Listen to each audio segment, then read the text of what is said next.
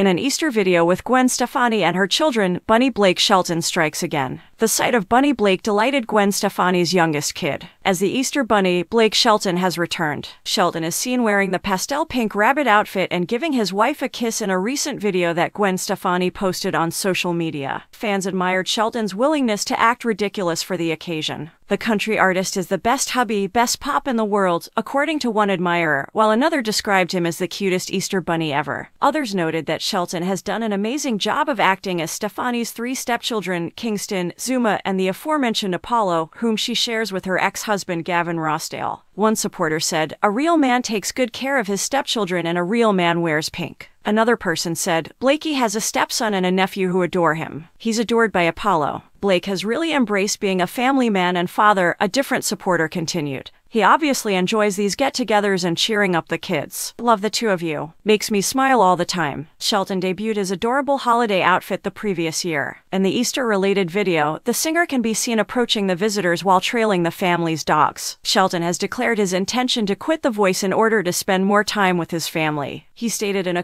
conversation with Access that I think being a stepdad has changed my viewpoint and that I'm not the first person that I think about anymore. Even when you say, I think I'll do this, your very next thought is always, well, wait a minute. How's it working out? And, or what will they think? Alternately, how will that impact a schedule? I think the only way for me to really do that right is to step away from being committed to something like The Voice that demands a lot of your time, the speaker continued. There is no escape from it. You must put your all into it if you want to complete the task successfully. And I simply feel as though those times are behind me at this time. I received a more significant job. It is clear that Shelton enjoys raising a family and is quite good at it.